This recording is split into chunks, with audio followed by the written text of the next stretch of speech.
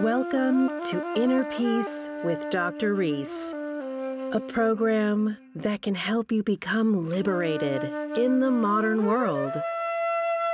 Now, here's your host, Dr. So Kevin are you ready W. Reese. to die?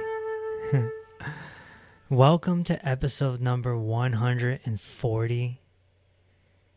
Of course, every five episodes, I talk to you one on one. And today, I want to talk to you about a movie I just saw. Now, if you follow this podcast, you know I don't watch very movie, many movies. But when I do find one that I think is curriculum, I want to talk about it. And this movie is called Don't Look Up. it just came out maybe a year ago, six months ago, whatever. It stars Leonardo DiCaprio and Jennifer Lawrence. The premise of the movie is that these scientists discover a comet that's coming to Earth. And in six months' time, this comet is going to hit and destroy mankind and animals, etc. The scientists report it to the government. Now, the movie's a satire, it's a parody about everything going on in the world. and so the president doesn't really care because she's worried about winning election, her next election. And the scientists flip out over it because it's very serious to them. So then they go to the media. They go on television, and the media doesn't care. They play it off as a joke.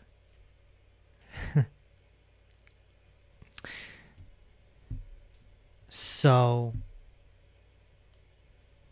then the government goes and confiscate, compensates the scientists because they just gave out confidential information. So then the White House is like, all right, you might have been right. And now this campaign starts. Interestingly enough, the scientist played by Leo DiCaprio, he ends up becoming a celebrity. He's on TV all the time. People like him on social media. You know, it's a parody of Fauci, kind of, right? And he ends up liking that. He ends up cheating on his wife because he, he gets caught up in the fame. You know, he's a nerd who's getting some fame.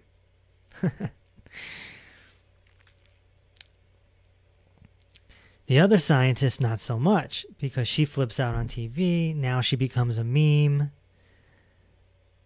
And throughout the whole thing, it's just this parody of how our society doesn't care.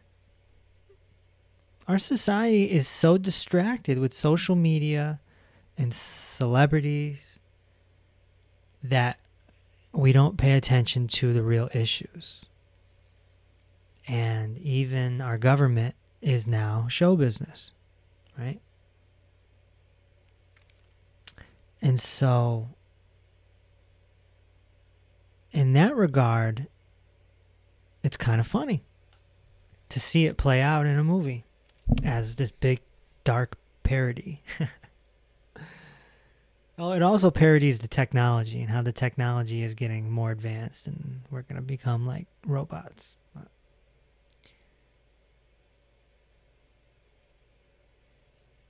So, in that regard, it's pretty funny, but that's not why it's curriculum. It's curriculum because everyone's going to die.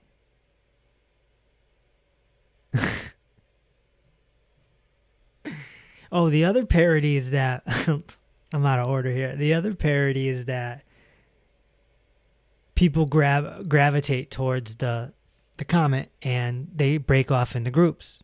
They're divided, just like in normal society. So you have the look up movement and the look down movement. And they're talking about the comet. Don't look up, don't look down. And and so just like normal in America, people are split. You know, the the anti-mask people, the mask people. The anti-vax people, the vax people. Right? The the anti-climate change people, the climate change people. And it's division. And this movie highlights that division. but then in the movie, things get real when people finally start seeing the comet. And it's like, whoa, there it is. And it's getting closer and closer. And now everyone starts to panic.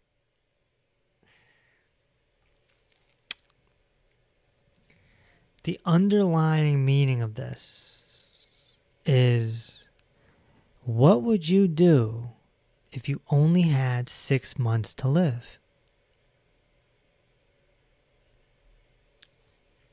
How would you live your life if you only had six months to live? Now, I just talked to uh, Ryan Luelf, and you heard about his cancer journey just a few episodes ago and how he was given three or four months to live. But this comet scenario is the whole world. It's not just you, it's your family, it's your friends, it's people across the world you've never even met. It's the animals, the birds, the bees, the the elephants, the dogs, the cats, and the lions. is everyone. So, what would you do?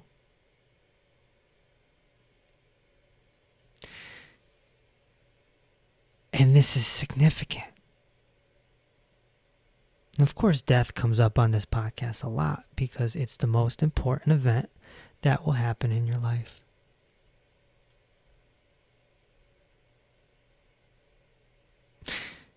It's knowing that you can die. Not just at 80 years old, which is the average life expectancy, but but today. Tomorrow. 2 weeks from now. It could happen at any time.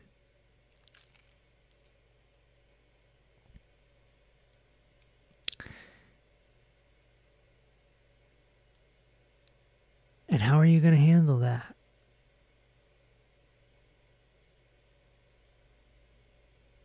Are you okay with leaving behind everything? People get frightened of death. I know somebody who just almost died and they were really scared. Really scared. But they're, they're they've spent their life living in lower consciousness and that's what tends to happen because people in lower consciousness are attached to control, to pride, to material items but what happens if you let go? Now. What happens if you let go now, like this very moment that your ears are ingesting my voice? What if you let go right now? Could you deal with losing your loved ones?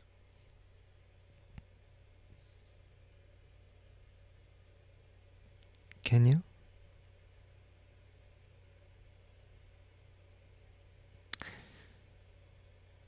If you don't, I, I talk about this topic in my new book, Peace Over Pain, is that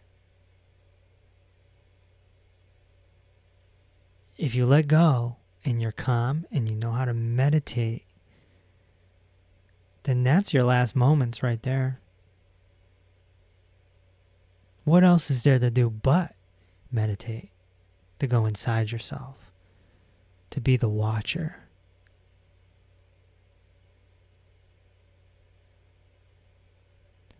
And in order to do this on your so called deathbed or death moment, you have to practice. You have to practice now.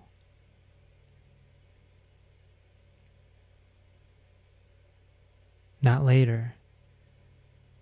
There's only now.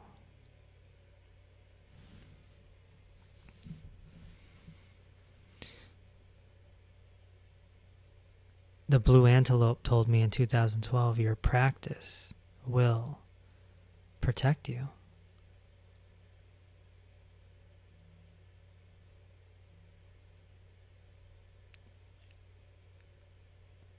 Six months to live. I want you to really feel that. What if you had six months to live? What do you do? What do you change? What do you say to people in your life? What is it? What attitude do you take for the next six months? I'd love to know your view, what you would do, hypothetically. Message me and let me know. Six months to live. Just don't look up.